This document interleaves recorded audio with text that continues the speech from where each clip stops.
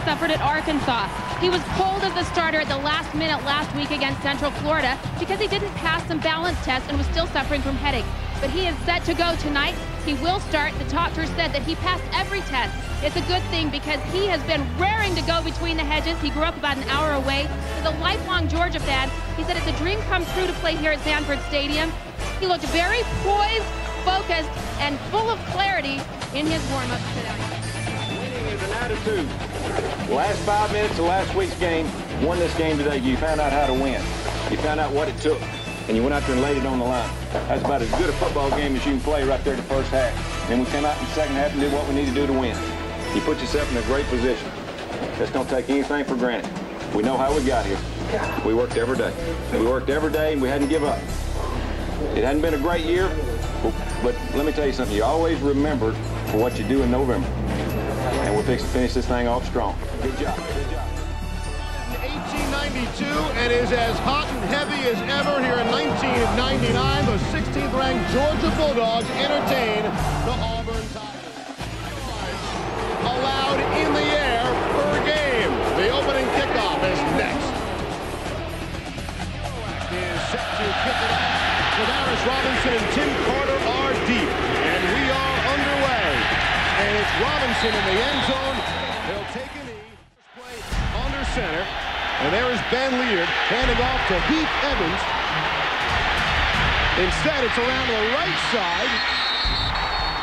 What a reverse. And now take the snap. Here's Leard to throw for the first time tonight. And it's complete to Travaris Robinson. And a great effort with Larry Mann draped on his back to pick up the extra From the 48-yard line. Leard, straight drop back, middle screen, got a man, it's Travaris Robinson, and he again has enough for the first down. Picked up a 10 on the play. Something on the line here. A chance to be bowl eligible should they win their final two games. Watch the crossing route underneath, Steve. Here's Leard with plenty of time, throws to the sideline. It's complete Travaris Robinson, and he's knocked out of bounds. The third first down play for Robinson in this drive. Pick up a 14 yards there, and Heath Evans supplies a solid block. Steve Ronnie is picking up as they move down the field. Robinson now has three catches for 34 yards. They dump it into the flat to Ronnie Daniels. Daniels is brought down just shy of the five-yard line after a pickup of 19, and the Auburn passing game clicking on all cylinders. Steve, either either Daniels' man got picked. On second and goal from the five, no gain on completion of Diamond. Again, has time, throws, touchdown! Got a man, it's Clifton Robinson. Touchdown, Auburn. Clifton Robinson runs what's called a swirl route. They've been so successful running the crossing routes. What Robinson does is he turns in like he's running the crossing route and then spins around and comes back to the outside. That's why he was so open there in the end zone, and Leard delivers it on the money. Clifton Robinson had switched to tailback after spending a couple of seasons at wide receiver, and now is back to the receiver, and he just received that touchdown. Damon Duval pumps through the extra point, and it's an 80-yard score. 46-yard line. Carter, straight drop to throw. Feels the pressure, trying to get out of there. Fumble! Football's loose. Auburn has it. And it's Quentin Reese on the fumble recovery for Auburn. Steve, there are some times when as a quarterback you just have to say, all right, this isn't going to happen. It's going to break down. You got to give it up. Quincy Carter tried too hard there to make something happen, and the result is disastrous. Wide receivers out to the right. Here's Leard to throw. He's looking left. Now rolling to his right and throws on the run. Trying to break a couple of tackles is Marcel Willis, but he won't get enough for the first down. And let's see what Leard has planned here. Out of the shotgun. Leard to throw. Middle screen. Got Travaris Robinson, and he won't get the first down that time. Tim Wansley, the solid but no pressure there. Here's Leard under some pressure. He'll scramble, and just before he's hitting release, and he's got a man down the sideline. It's Marquise Cooper, and he's dropped at the 10-yard line. Tim Wansley finally got to him. Big play for Auburn. Goes for 46 yards. No one, no one is going to, no one is going to accuse Ben Leard of being Randall Cunningham. Leard is now 9 of 11 for 123 yards. Out of the shotgun on first and goal from the 10. Leard to throw. Why not? Throws for the end zone. Got a man. Marquis Cooper. Touchdown.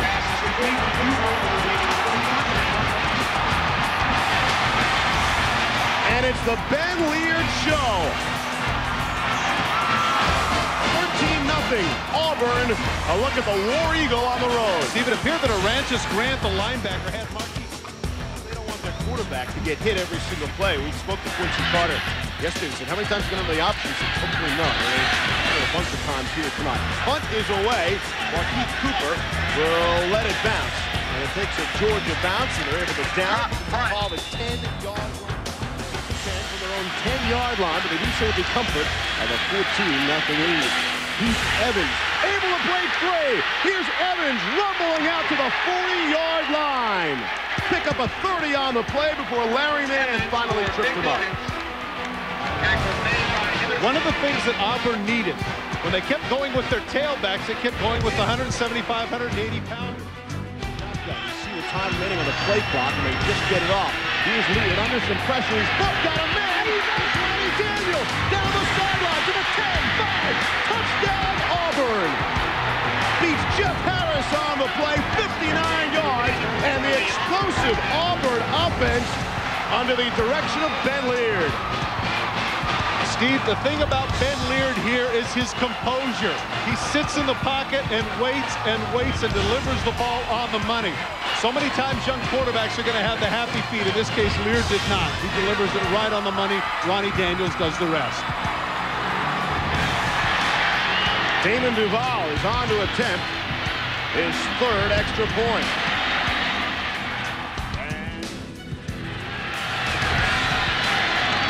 Here's Quincy Carter to throw, steps up feeling the pressure, and he'll go down. Brumbaugh got him again along with Marcus Washington. And here's what he saves. Third down and 17. He got the playbook for third and 17. Carter down the sideline and nearly intercepted. Larry Casher had the tremendous coverage on Jermaine Phillips. But Jermaine Phillips got to let it go. You're down 21 points. You have no reason to trash talk. And of course, Casher, what do you got? 10. Out of the shotgun, Leard will step up, got plenty of time, will throw, man wide open, it's Heath Evans, he's got the first down and then some. When the Georgia defense has to do something. Noel Mazzone, up to this point, has certainly been pushing all the right buttons. 75th year of that stadium, and the final year. Incomplete pass, looking for Michael Greer, it was a bit too low. Antoine Nolan in the shotgun position. Three wide receivers to the left as they spread the field. Walks it down the field. Ronnie Daniels got it. He's got 40, 30. They take the angle and never catch him. Touchdown, Ronnie Daniels. Steve, coming into this game, we had heard that Jamie Henderson was going to be the man on Daniels. Instead, they've had a number of different people on him. In this case, it was Corey Robinson. And I don't think Corey Robinson is a starter. He has no business being on their star player. There is a flag on the play, but the touchdown will count. It's for the... There's another figure to take a dip. Going Georgia's fourth first down. And they've got another. Make it five. Football is loose. And let's see. Auburn's got it. Who Holly mentioned was shaken up and injured before, he comes up with a fumble recovery, and it's all going right for Auburn. Like so many other wide receivers and defensive backs in college football. I was going to say to run a little bit to keep the clock moving, but they've been completing all their. So the clock has been moving. There's Heath Evans. Coach Tommy Tuberville said he's making things happen the last two games. Make it three games now. Evans will try it again, bouncing off Packers there, getting some of the tough yards. Leard from the shotgun to throw. Gets the pressure, he's got a man, it's Daniels, he's got the first down, and he's knocked out of bounds at the 21-yard line. Steve, I'm trying hard to think of a, of a wide receiver in college football who, after he gets the ball, is as powerful as Ronnie Daniels. ESPN2. This is a third and four play for Ben Leard. Leard to throw. Got a man. No surprise, it's Daniels. And he is brought down inside the five-yard line. Pick up of 10 on the play. Field goal. Duval has caught a touchdown, by the way, on a fake. Here's a 17-yard field goal attempt, we believe. And he kicks it away, and it is good. Now the horn sounds for real. Ben Leard, a brilliant first half, includes four touchdown passes. It's 31-0 in favor of War Eagle. Here's Rece Davis. and told his team at halftime they've got to start over here in the second half. He's particularly worried about how much Auburn's offense is on the field. He says our offense has to make some plays and stay out there. And Tommy Tuberville, Todd, I asked him your question, why didn't he go for any of those field goals early in the first half? He said, Holly, we ain't got nothing to lose. We're hanging all out. You saw us play two weeks ago. We're not a good team. We ain't got nothing to lose. We've got a lot of the field to work with. An option might be interesting. Caught fourth and two. Carter, the option, and it's caught correctly called, but it's incorrectly run. They're short of the first down marker. There is a flag on the Steve, the flag is going to be holding on the tight end, and Auburn is going to get the stop that they want.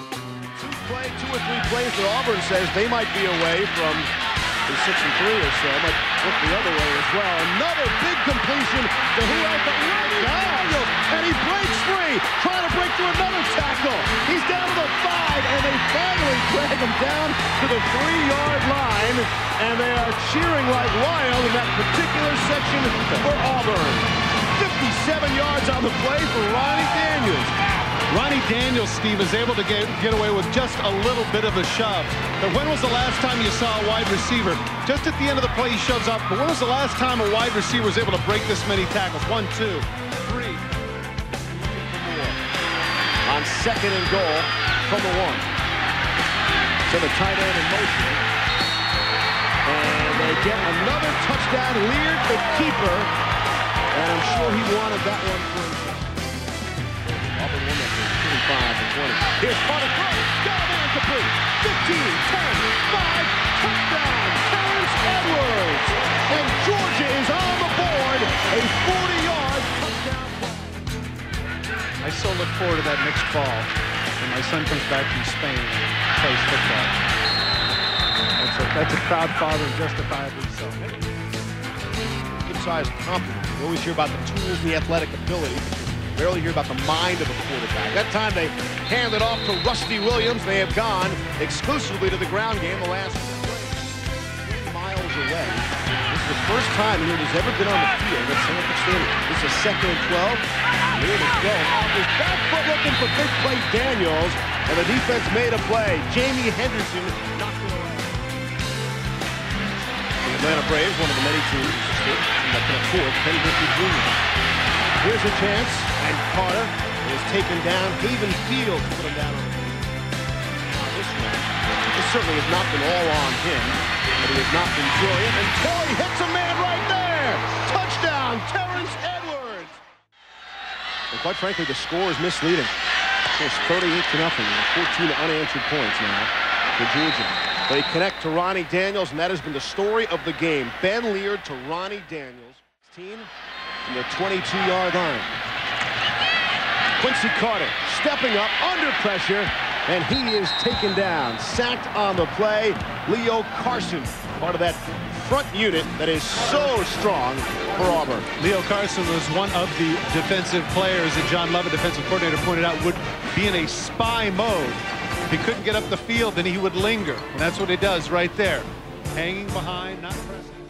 All-American defensive lineman who's currently the director of football operations here at Georgia. Here's Carter trying to run out of the way, and he is taken down by three. White. Where were you? Uh, I was there too, but You were right next to me.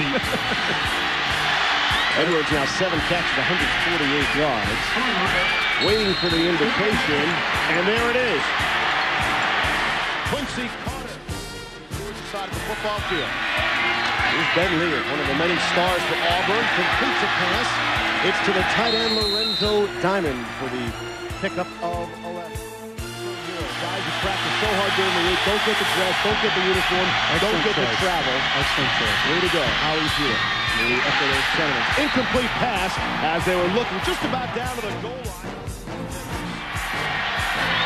Leard still at quarterback. He'll take a knee. You know he doesn't want out of this game. He wants to kneel down as the clock expires, and he will run off Sanford Stadium's field for the first time ever, and he will do so a winner in an Auburn seven of their last eight games here.